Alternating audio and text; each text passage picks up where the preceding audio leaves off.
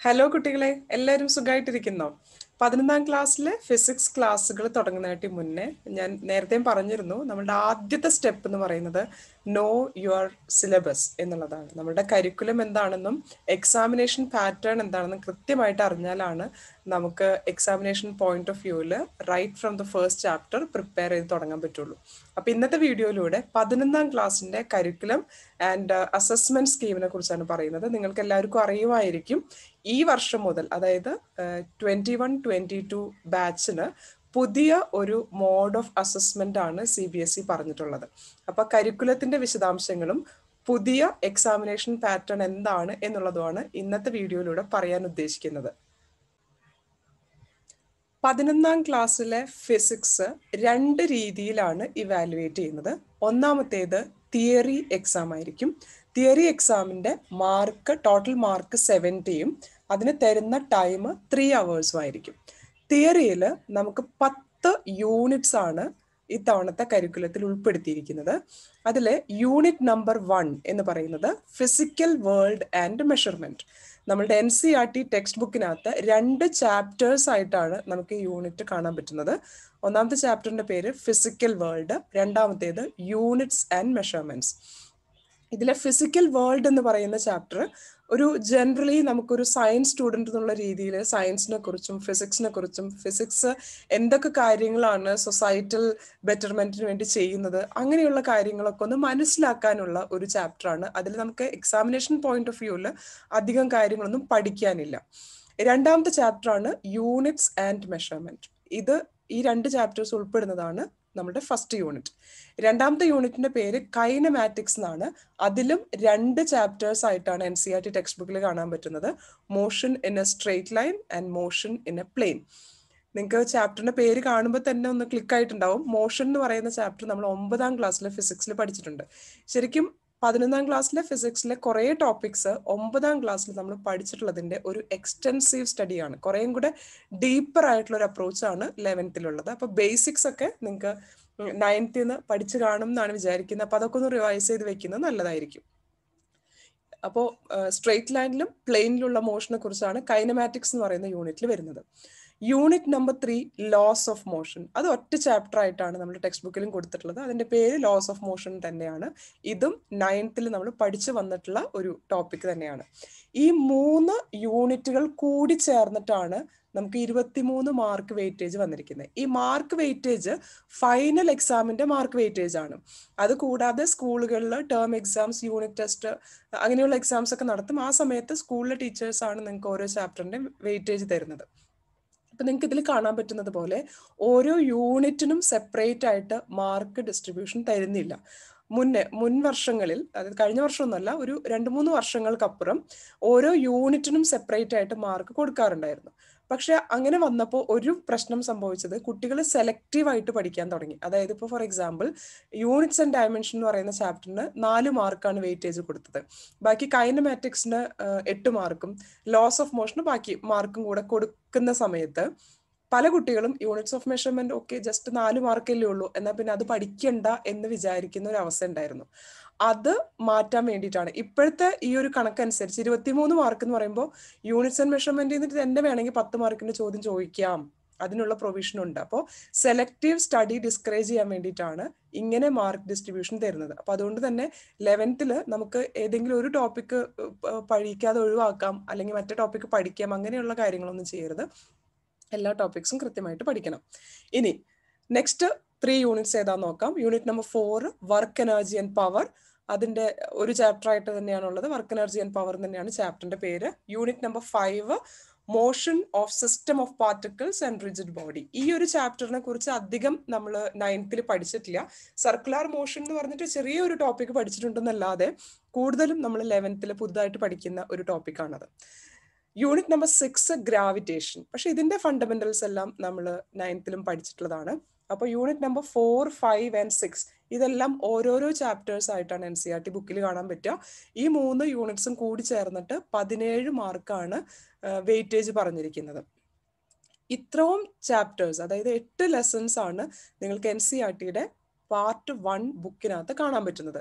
ഇനി part two ബുക്കിനകത്താണ് ബാക്കിയുള്ള chapters നിങ്ങൾക്ക് കാണാൻ പറ്റുന്നത്. അതിൽ ആദ്യത്തേത് unit number seven properties of bulk matter ഈ പ്രോപ്പർട്ടീസ് ഓഫ് ബൾക്ക് മാറ്റർ എന്ന് പറയുന്ന യൂണിറ്റ് മൂന്ന് ഡിഫറെന്റ് ചാപ്റ്റർ ആയിട്ടാണ് നമ്മുടെ ബുക്കിൽ ടെക്സ്റ്റ് ബുക്കിൽ കൊടുത്തിരിക്കുന്നത് chapter number nine ten and eleven അതിൽ പ്രോപ്പർട്ടീസ് ഓഫ് സോളിഡ്സിനെ കുറിച്ചും ഫ്ലൂയിഡ്സിനെ കുറിച്ചും തെർമൽ പ്രോപ്പർട്ടീസ് ഓഫ് മാറ്ററിനെ കുറിച്ചുമാണ് പഠിക്കുന്നത്. എട്ടാമത്തെ യൂണിറ്റ് തെർമോ ഡൈനാമിക്സ് ഈ രണ്ട് യൂണിറ്റ്സിന് കൂടിയിട്ടാണ് ഇരുപത് മാർക്ക് വെയിറ്റേജ് രണ്ട് യൂണിറ്റ് അല്ല ഒമ്പതാമത്തെ ബിഹേവിയർ ഓഫ് പെർഫെക്റ്റ് ഗ്യാസ് എന്നും കൂടെ. അപ്പൊ ഈ മൂന്ന് യൂണിറ്റിന് കൂടിയിട്ടാണ് ഇരുപത് മാർക്ക് വെയിറ്റേജ് കൊടുത്തിരിക്കുന്നത്. ഇനി ഏറ്റവും അവസാനത്തെ unit number ten oscillations and waves ഇതാണ് നിങ്ങളുടെ ടെക്സ്റ്റ് ബുക്കിൽ കാണുന്ന അവസാനത്തെ രണ്ട് ചാപ്റ്റർ ഓസിലേഷൻസ് പറഞ്ഞിട്ടൊരു ചാപ്റ്റർ ഉണ്ട് വേവ്സ് എന്ന് പറഞ്ഞിട്ടൊരു ചാപ്റ്റർ ഉണ്ട്. ഈ ഒരു ഒറ്റ യൂണിറ്റ് പത്താമത്തെ യൂണിറ്റിന് സെപ്പറേറ്റ് ആയിട്ടാണ് പത്ത് മാർക്ക് വെയിറ്റേജ് പറഞ്ഞിരിക്കുന്നത് ഇങ്ങനെ നമ്മൾ ടോട്ടൽ ചെയ്ത് നോക്കുമ്പോൾ സെവന്റി മാർക്ക് ഇന്റെ തിയറി ഓക്കെ ഇതാണ് തിയറിയുടെ വെയിറ്റേജും അതിന്റെ ഓരോ ചാപ്റ്ററിന്റെ കണ്ടന്റും ഇങ്ങനെയാണ് വരുന്നത്. ബാക്കിയുള്ള മുപ്പത് മാർക്ക് നമുക്ക് പ്രാക്ടിക്കൽസ് എന്നാണ് വരുന്നത്. പ്രാക്ടിക്കൽസ് ഇവിടെ നിങ്ങൾക്ക് കാണാവുന്നത് പോലെ കുറച്ച് കാര്യങ്ങൾ അതായത് പ്രാക്ടിക്കലിന്റെ മുപ്പത് മാർക്ക് എന്ന് പറയുന്നത് നമുക്ക് പ്രാക്ടിക്കൽ ചെയ്തതുകൊണ്ട് മാത്രം കിട്ടാവുന്നതല്ല. അതിനും മാർക്ക് ഡിഫറെന്റ് ആയിട്ട് ഡിസ്ട്രിബ്യൂട്ട് ചെയ്ത് വെച്ചിട്ടുണ്ട്. സിലബസിനകത്ത് നമുക്ക് രണ്ട് സെക്ഷൻസ് ആയിട്ടാണ് പ്രാക്ടിക്കൽസും ആക്ടിവിറ്റീസും തന്നിരിക്കുന്നത്. സെക്ഷൻ എയിൽ പത്ത് പ്രാക്ടിക്കൽസും ഏഴ് ആക്ടിവിറ്റിയും തന്നിട്ടുണ്ട്. അതിനകത്തുനിന്ന് മിനിമം ആറ് പ്രാക്ടിക്കൽസ് ആണ് ഓരോ സ്കൂളിലെ കുട്ടികളോടും ചെയ്യാൻ പറഞ്ഞിരിക്കുന്നത്. അതായത് പത്തെണ്ണം ലിസ്റ്റ് ചെയ്തിട്ടുണ്ട്. പക്ഷെ സ്കൂളുകൾക്ക് തീരുമാനിക്കാം അതിൽ പത്തിൽ ഏത് ആറെണ്ണമാണ് ചെയ്യുന്നത് എന്നുള്ളത് അങ്ങനെ സെക്ഷൻ എയിൽ നിന്ന് പത്തെണ്ണം ബിയിൽ നിന്ന് സോറി എയിൽ നിന്ന് ആറെണ്ണം ബിയിൽ നിന്ന് ആറെണ്ണം അങ്ങനെ ടോട്ടലി പന്ത്രണ്ട് എക്സ്പെരിമെന്റ്സ് ചെയ്തിട്ടുണ്ടായിരിക്കണം. ഇനി ഓരോ സെക്ഷനിലും സെക്ഷൻ എയിൽ ഏഴ് ആക്ടിവിറ്റീസ് സിലബസിൽ തന്നിട്ടുണ്ട്. സെക്ഷൻ ബിയിലും ഏഴ് ആക്ടിവിറ്റീസ് തന്നിട്ടുണ്ട്. അപ്പോൾ ഓരോ സെക്ഷനിൽ നിന്നും മൂന്ന് ആക്ടിവിറ്റി വീതം അതും സ്കൂളുകൾക്ക് തീരുമാനിക്കാം ഏത് ആക്ടിവിറ്റിയാണ് ചെയ്യിപ്പിക്കുന്നത് എന്നുള്ളത് അതാണ് അടുത്തതായിട്ട് നമ്മളുടെ റെക്കോർഡ് ചെയ്യേണ്ടത്. പിന്നെ ഒരു പ്രോജക്റ്റ് ചെയ്യണം. ഇയർ എൻഡിൽ ഒരു ഇൻവെസ്റ്റിഗേറ്ററി പ്രോജക്റ്റ് അതായത് നിങ്ങൾ ഇപ്പം പഠിക്കുന്ന ടോപ്പിക്സിനോട് റിലേറ്റഡ് ആയിട്ട് നമുക്ക് ഒത്തിരി വർക്കിംഗ് ഫങ്ഷൻസ് പഠിക്കുന്നുണ്ട് ഈ തിയറിയിൽ നിന്ന്. അപ്പോൾ ഈ ഒരു ഫങ്ഷൻസ് പ്രിൻസിപ്പിൾസ് ഉപയോഗിച്ചിട്ട് വർക്ക് ചെയ്യുന്ന ഏതെങ്കിലും ഒരു ഇന്നൊവേറ്റീവ് ആയിട്ടുള്ള ഒരു വർക്കിംഗ് മോഡൽ അല്ലെങ്കിൽ സ്റ്റിൽ മോഡൽ നിങ്ങൾക്ക് അതിലൂടെ കുറെ കാര്യങ്ങൾ എക്സ്പ്ലെയിൻ ചെയ്യാൻ പറ്റുന്നത് അതാണ് ഒരു ഇൻവെസ്റ്റിഗേറ്ററി പ്രോജക്റ്റ് എന്ന് പറയുന്നത്. അപ്പോൾ ഇത്രയും കാര്യങ്ങളാണ് പ്രാക്ടിക്കലിന് വേണ്ടി നിങ്ങൾ ചെയ്യേണ്ടത്. പന്ത്രണ്ട് എക്സ്പെരിമെന്റ് ചെയ്യണം ആറ് ആക്ടിവിറ്റി ചെയ്യണം. അതുകൂടാതെ ഒരു പ്രോജക്റ്റും കൂടെ ചെയ്യണം. ഈ മുപ്പത് മാർക്ക് എങ്ങനെയാണ് ഡിസ്ട്രിബ്യൂട്ട് ചെയ്തിട്ടുള്ളതെന്ന് കാണിച്ചു തരാം. ഇയർ എൻഡിൽ നമുക്ക് പ്രാക്ടിക്കൽസിന് ഒരു എക്സാം നടത്തും. എക്സാം നടക്കുന്ന സമയത്ത് നിങ്ങളെ കൊണ്ട് രണ്ട് എക്സ്പെരിമെന്റ് ആണ് ചെയ്യിക്കുക. അതായത് സെക്ഷൻ എയിൽ നിങ്ങൾ ചെയ്തിട്ടുള്ള ആറെണ്ണത്തിൽ നിന്ന് ഏതെങ്കിലും ഒരെണ്ണം ചെയ്യിപ്പിക്കും സെക്ഷൻ ബിയിൽ നിങ്ങൾ ചെയ്തിട്ടുള്ള ആറെണ്ണത്തിൽ നിന്ന് ഏതെങ്കിലും ഒരെണ്ണം ചെയ്യിപ്പിക്കുക അങ്ങനെ രണ്ട് എക്സ്പെരിമെന്റ് ചെയ്യുക രണ്ടും കറക്റ്റ് ആയിട്ടുണ്ടെങ്കിൽ seven plus seven fourteen marks കിട്ടും. പിന്നെ പ്രാക്ടിക്കൽ റെക്കോർഡ് ഈ പന്ത്രണ്ട് എക്സ്പെരിമെന്റും ആറ് ആക്ടിവിറ്റീസും നിങ്ങൾ കൃത്യമായിട്ട് റെക്കോർഡിൽ എഴുതിയിട്ടുണ്ടാവണം. അത് ഓരോ എക്സ്പെരിമെന്റ് ചെയ്ത് കഴിയുമ്പോഴും നിങ്ങൾക്കൊരു ഡെഡ് ലൈൻ ഒക്കെ തരും റെക്കോർഡ് സബ്മിറ്റ് ചെയ്യാനുള്ളത്. അപ്പം അത് കൃത്യസമയങ്ങളിൽ സബ്മിറ്റ് ചെയ്യുക. കറക്റ്റായിട്ട് വളരെ സിസ്റ്റമാറ്റിക് ആയിട്ട് നീറ്റായിട്ട് റെക്കോർഡ് മെയിന്റെയിൻ ചെയ്യുക. അങ്ങനെ കംപ്ലീറ്റ്ലി അപ് ടു ഡേറ്റ് ആയിട്ട് കീപ്പ് ചെയ്യുന്ന റെക്കോർഡിനാണ് അഞ്ച് മാർക്ക് കിട്ടുന്നത്. ഇനി എക്സാമിന്റെ സമയത്ത് ഏതെങ്കിലും ഒരു ആക്ടിവിറ്റി നിങ്ങളെ കൊണ്ട് ചെയ്യിപ്പിക്കും. അത് സെക്ഷൻ എ എന്നായിരിക്കാം ബി എന്നായിരിക്കാം ഏതെങ്കിലും ഒരു ആക്ടിവിറ്റിയാണ് ചെയ്യിപ്പിക്കുക. ആ ആക്ടിവിറ്റിക്കാണ് മൂന്ന് മാർക്ക് പിന്നെ ഇൻവെസ്റ്റിഗേറ്ററി പ്രോജക്റ്റ് നിങ്ങൾ ചെയ്യുന്നുണ്ട് ഒരു മോഡൽ ഉണ്ടായിരിക്കാം അല്ലെങ്കിൽ സ്റ്റിൽ മോഡൽ ആയിരിക്കാം അല്ലെങ്കിൽ ഒരു കേസ് സ്റ്റഡി അതിന്റെ ഒരു റിപ്പോർട്ട് ആയിരിക്കും. അപ്പോൾ അതിനൊരു റിപ്പോർട്ടും ഉണ്ടാവണം. ആ ഇൻവെസ്റ്റിഗേറ്ററി പ്രോജക്റ്റ് നിങ്ങൾ ചെയ്തിട്ടുള്ളതിനാണ് മൂന്ന് മാർക്ക് കിട്ടുന്നത്. അടുത്ത അഞ്ച് മാർക്ക് എന്ന് പറയുന്നത് വൈവ. പ്രാക്ടിക്കൽ എക്സാം നടത്തുന്ന സമയത്ത് ടീച്ചേഴ്സ് ഓറൽ ആയിട്ട് ചോദിക്കുന്ന ക്വസ്റ്റ്യൻസ് ആണ് വൈവ എന്ന് പറയുന്നത്. ആ വൈവ ക്വസ്റ്റ്യൻസ് നോർമലി നമ്മൾ ചെയ്യുന്ന എക്സ്പെരിമെന്റ്സിനെയോ ആക്ടിവിറ്റീനോ പ്രോജക്റ്റിനോ ഒക്കെ ബേസ് ചെയ്തിട്ടായിരിക്കും ചോദിക്കുക. അതിനാണ് അഞ്ച് മാർക്ക് ഇങ്ങനെയാണ് പ്രാക്ടിക്കലിന്റെ മുപ്പത് മാർക്ക് അവാർഡ് ചെയ്യുന്നത്. അപ്പൊ തിയറിക്ക് സെവന്റി മാർക്ക് പ്രാക്ടിക്കലിന് മുപ്പത് മാർക്ക് ഇതാണ് നിങ്ങളുടെ കരിക്കുലം ഈ വർഷത്തെ കരിക്കുലം എന്ന് പറയുന്നത്. ഇനി ഞാൻ തുടക്കത്തിൽ പറഞ്ഞതുപോലെ ഈ വർഷം C B S E examination പാറ്റേണിൽ മാറ്റങ്ങൾ വരുത്തിക്കൊണ്ടിട്ടുള്ള ഒരു സർക്കുലർ പറഞ്ഞിരുന്നു. അതിൽ ഇമ്പോർട്ടന്റ് ആയിട്ടുള്ള പോയിന്റാണ് ഞാനിവിടെ ഹൈലൈറ്റ് ചെയ്ത് പറയാൻ ഉദ്ദേശിക്കുന്നത്. ഇമ്പോർട്ടന്റ് ആയിട്ടുള്ള പോയിന്റ് ഇതാണ് സി ബി എസ് ഇ ഒരു മാറ്റം കൊണ്ടുവരാനുള്ള കാരണമാണ് അവർ പറഞ്ഞിരിക്കുന്നത്. അതായത് റോട്ട് ലേണിംഗ് നമ്മൾ കുറേ ഇരുന്ന് കുത്തിയിരുന്ന് ബൈഹാർട്ട് ചെയ്തതുകൊണ്ട് ഫിസിക്സിലോ സയൻസിലോ വലിയ ഉപകാരങ്ങൾ കിട്ടാനില്ല. നമ്മൾ മെമ്മറി പവർ ഇൻക്രീസ് ചെയ്യുക എന്നുള്ളതല്ല സയൻസ് പഠിക്കുന്നതിന്റെ ഉദ്ദേശം.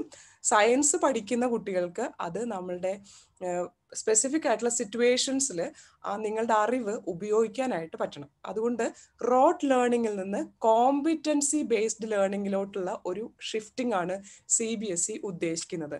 ആ ഒരു ഷിഫ്റ്റിംഗ് മനസ്സിൽ വെച്ചുകൊണ്ട് ഈ വർഷം എക്സാമിനേഷൻ പാറ്റേണിൽ വലിയ രീതിയിലുള്ള മാറ്റങ്ങൾ വരുത്തിക്കൊണ്ടുള്ള പുതിയ സർക്കുലർ ആണ് ഈ പറഞ്ഞിരിക്കുന്നത്.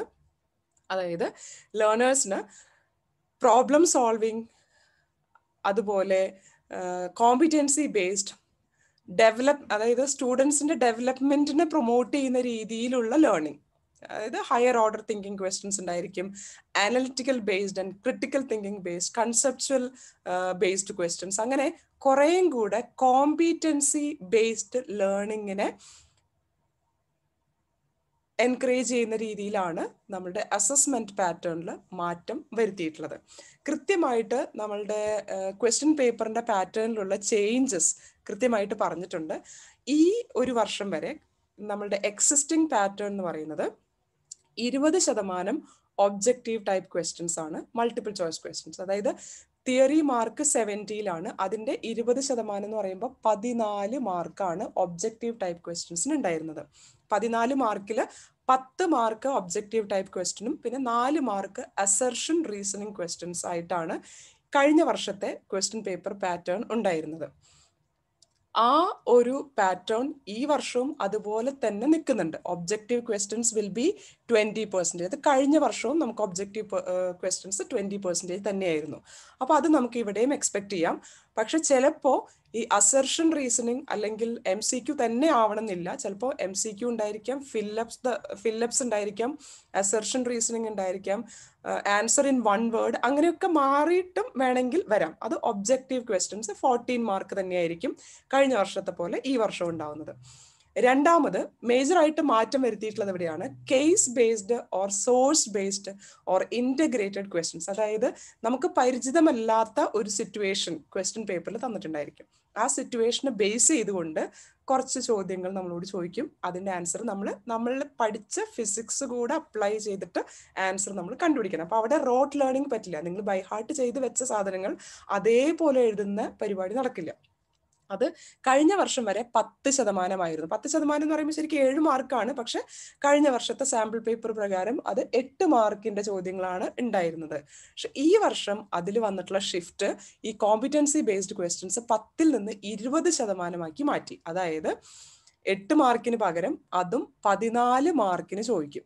അപ്പൊ പതിനാല് മാർക്കിന് ഈ കോമ്പറ്റേറ്റീവ് കോമ്പിറ്റൻസി ബേസ്ഡ് ക്വസ്റ്റ്യൻസും പതിനാല് മാർക്കിന്റെ ഒബ്ജക്റ്റീവ് ടൈപ്പ് ക്വസ്റ്റ്യൻസും കഴിഞ്ഞാൽ വെറും അറുപത് ശതമാനം മാത്രമാണ് short answer long answer questions ഒക്കെ വരുന്നത്. അതായത് ഡെറിവേഷൻസ് ഇപ്പോൾ നമ്മളോട് ഏതെങ്കിലും obtain a relation between this quantity and that quantity അല്ലെങ്കിൽ ഡിഫറൻഷിയേറ്റ് ബിറ്റ്വീൻ അങ്ങനെയൊക്കെ നമുക്ക് ഡിസ്ക്രിപ്റ്റീവ് ആയിട്ട് കൂടുതൽ എഴുതേണ്ട. അത് അത് കൂടുതൽ നമ്മൾ റോട്ട് ലേണിംഗ് വഴി നമുക്ക് ഓർത്ത് വെക്കാൻ പറ്റുന്ന കാര്യങ്ങളാണ്. അത് അറുപത് ശതമാനം. അറുപത് ശതമാനം എന്ന് പറയുമ്പോൾ ബാക്കിയുള്ള നാൽപ്പത്തി രണ്ട് മാർക്കാണ് അതിന് കൊടുത്തിരിക്കുന്നത്. അപ്പോൾ കൂടുതൽ വെയിറ്റേജ് കോമ്പിറ്റൻസി ബേസ്ഡ് അഥവാ ഹയർ ഓർഡർ തിങ്കിങ് ക്വസ്റ്റ്യൻസ് അല്ലെങ്കിൽ സോൾവിങ് എ പെർട്ടിക്കുലർ സിറ്റുവേഷൻ അങ്ങനെയുള്ള ചോദ്യങ്ങൾക്കാണ് കൊടുത്തിരിക്കുന്നത്. അപ്പോൾ ഇതിൽ നമ്മൾ ഏറ്റവും ഇമ്പോർട്ടന്റ് ആയിട്ട് മനസ്സിൽ വെക്കേണ്ടത് എക്സാമിന് ഡിഫിക്കൽട്ടി ലെവൽ അല്ല കൂട്ടിയിട്ടുള്ളത്. പക്ഷെ നിങ്ങൾ ബൈഹാർട്ട് ചെയ്യുന്നതിനേക്കാൾ പകരം ഏത് ടോപ്പിക്ക് പഠിക്കുമ്പോഴും അതിന്റെ കൺസെപ്റ്റ് വളരെ കൃത്യമായി മനസ്സിലാക്കി പഠിക്കുക. എന്നാൽ മാത്രമാണ് ആ ഒരു കൺസെപ്റ്റ് ഉപയോഗിച്ചുകൊണ്ട് നമുക്ക് കോമ്പിറ്റൻസി ബേസ്ഡ് ക്വസ്റ്റ്യൻസ് ഒക്കെ ആൻസർ ചെയ്യാൻ പറ്റുള്ളൂ.